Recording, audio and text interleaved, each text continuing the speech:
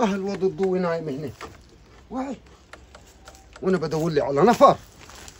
أنت يا ضوي ها أنت يا واد. يا. قوم يا ليه نايم كا؟ يا عايز. يا معي يومية عايز أنظف حباية القصب يا. لا النهارده مش فاضي يا عم عبد الناصر أنا. مش فاضي؟ إيه وراك؟ رايح أطرد من كنتاكي. تطرد من كنتاكي؟ آه. إيه تطرد من كنتاكي آه رايح أطرد من كنتاكي يا عم عبد الناصر بعد المغرب هنا ما الآخر أنا سامع عليك بيقولوا لي لك 10 15 يوم شغال تلف على المطاعم في البلد. وحد راضي يديني قلمين على وشي يا عم عبد الناصر وحد يصورني كل أروح له. ال- التقوى والإيمان نزلت على أصحاب المطاعم. كل ما أروح واعمل لي مشكلة في مطعم يدوني سندوتش ويقولوا لي ما تزعلش. يا أبوي اضربوني. ما حدش راضي يا عم عبد الناصر فقلت أروح كنتاكي غالي يمكن حد يديني قلمين وشلوتين وحد يصورني هناك. طب وليه ده كله يا طب هو اللي بيصور يا عم عبد الناصر وبيطرد له من مطعم احتمال كبير يتجوز هيفاء وهبي. بابا بابا بابا بابا آه مش هوايلنا في مصر؟ فأنا قلت آكل عيشي برضو يا عم عبد الناصر طب وهي قاعد فايق يا واد نهار كله وانت لك شهرين متجوز قوم القالك يومية تنفعك يا واد. هتديني كام؟ حديك إيه؟ حديك غير 70 جنيه يا واد ما حديك كام أنا؟ 70 جنيه؟ أيوه يا ولدي كويسة. طب روح وهجيلك طيب. اوعى تتاخر يا ضوي جدع ولدي. وهات لي سجاير. حاضر حجيب لك. خلاص خلي كنتاكي بكرة.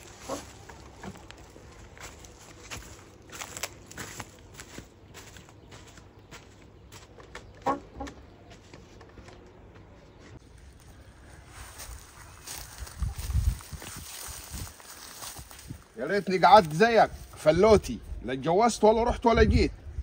يا ريتني قعدت ذكر دوم.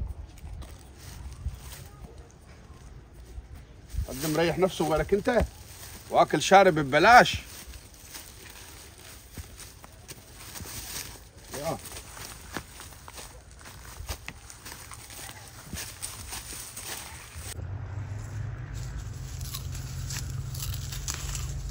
خلصت يا ضوي شغلك؟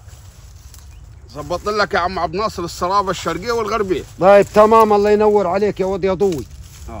يا ود ليه يا مزعل مرتك يا لها أسبوع شايفها عند بيت ناس هيك الله مري مري قريقها وريق امها يا عم عبد الناصر. طيب ليه يا ضوي؟ مم. ليه مالها دي يا عم عبد الناصر كان في فرح واحدة جارتنا من أسبوع. تمام.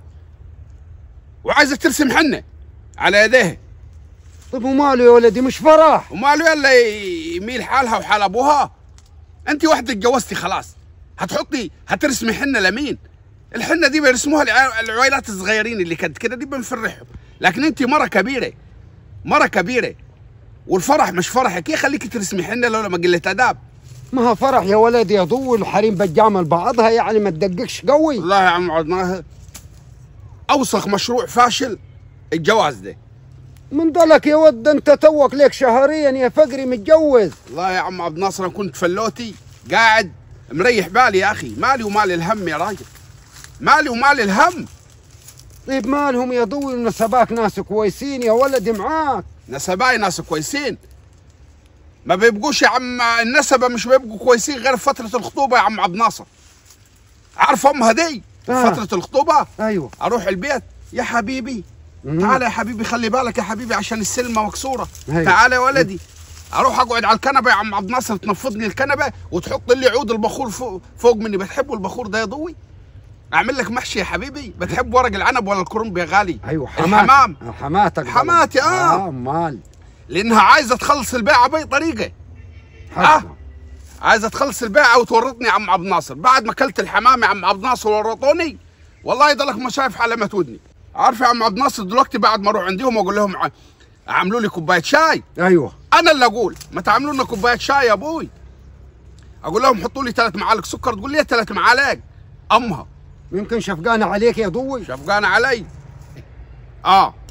يعني الواحد اللي حيقعد على كاود يا يا ضوي ريتني قعدت ذكر دوم يا عم عبد الناصر ولا اتجوزتني إيه جوزت أنا غير ركبتني غير الهموم يا عم عبد الناصر آه ما هي كلها كده يا ولدي يا ضوي ويا ريت واحدة يعني يا عم عبد الناصر يا ريت يعني يعني الحريم المفروض الشخل عجوازها يا عم عبد الناصر في البلاوي اللي إحنا عايشين فيها دي. آه. أيوه المفروض يعني هي تنسيك الهم ديت يا فقر أنت ما حاملش هموم. اتجوزت يا أخي. اتجوزت يا أخي قلت ارتاح وآكل حر- لقمة نظيفة. بت... بتغدى قصب. ما كفايه عاد اكلت كثير في فترة الخطوبة يا أخوي. آه. ما هيك اكلت كثير أنت وخاطب. لا يا عم عبد الناصر المفروض يا عم عبد الناصر الواحده تسمع كلام جوزها. لأنه جوزها اللي باقي لها يا عم عبد الناصر. انت دلوقتي رايحه ترسمي حنة ليه ليه رايحه ترسمي حنة؟ انت دلوقتي اتجوزتي واتجندلتي وطينتي على أبوك ترسمي حنة ليه طب انت الحنة مش بترسميها لجوزك في البيت هترسميها في الافراح. فلازم يا عم عبد الناصر لازم يا عم عبد الناصر الواحدة تسمع برضو كلام جوزها. ما الحريم غيارة يا ضو يا ولدي كلها كده. غيارة؟ أيوه غيارة يا ولدي. غيارة هي حد خارب البلد غير الحريم يا راجل.